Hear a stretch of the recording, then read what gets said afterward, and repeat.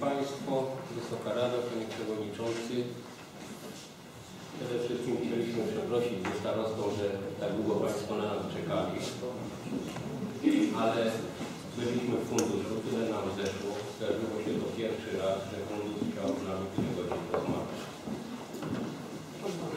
A rozmawialiśmy o Państwa pieniądzach.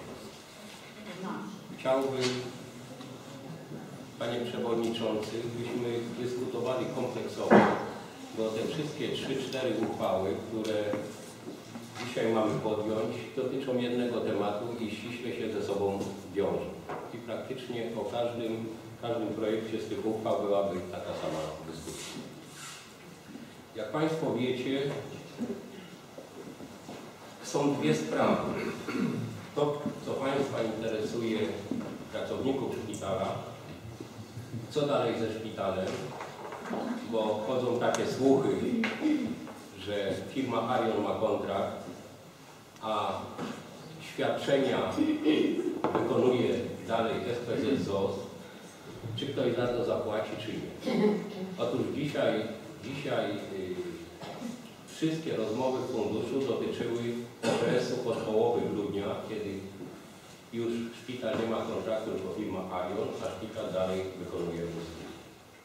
I mam nadzieję, że znaleźliśmy wspólnie z Arionem i z dyrektorami funduszu rozwiązanie, które pozwoli, że te środki będą zapłacone. Oczywiście nie w 100%, bo konta funduszu są obciążone, ale do 75% i tylko pod warunkiem, jeżeli zdążymy z pewnymi ustaleniami porozumieniami do 15 lutego, bo wtedy kończy się decyzja wojewody o odroczeniu płatności do ZUS, a jeżeli to się skończy, to wtedy komornik zabiera 100%.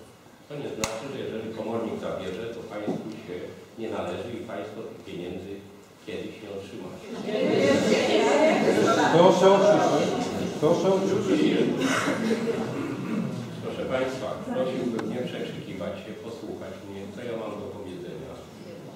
Jeżeli Państwo będziecie mieli pytania, a Przewodniczący uzna, że taka dyskusja ma być, to taka dyskusja będzie, bo my tutaj ani nic nie mamy do ukrycia, ani do czego oszukać Państwa, ani cokolwiek nie zrobić, jeżeli taką możliwość mamy.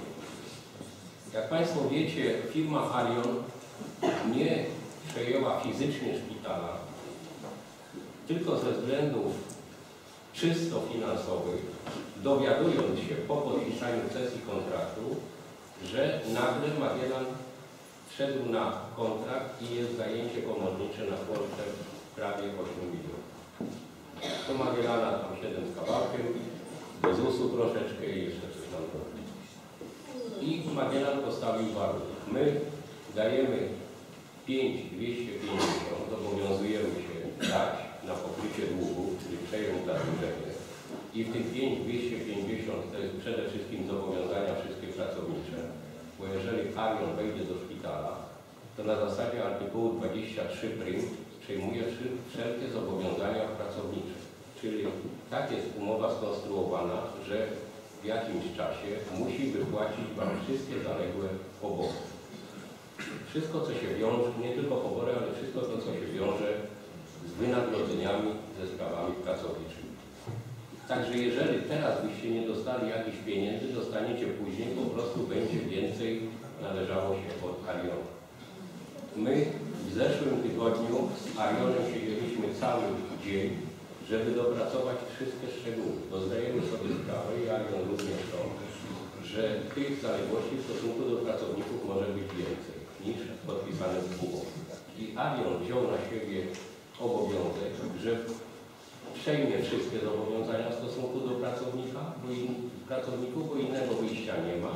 Natomiast powiat uzgodnił z, z firmą Arion, że będzie to rekompensowane z czynszu, który będzie płacił mniejszy czynsz, jeżeli zwiększą się zobowiązania w stosunku do pracownika.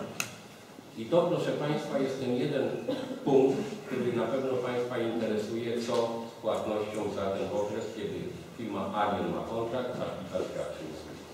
Mamy nadzieję, nie możemy mieć pewności, bo pewności dzisiaj już na nic nie ma. Smutno nauczeni różnymi zdarzeniami w funduszu i nie tylko, ale mamy nadzieję, że do 15 nam się uda to uregulować i Państwo pieniądze jakieś dostaną. Jeżeli tego nie dostaniecie teraz, to dostaniecie od Arion. Bo Arion, wchodząc do szpitala, zgodnie z umową, z chwilą przejęcia szpitala, musi w ciągu chyba 10 czy 14 dni 14. płacić pierwszą ratę 1,5 miliona.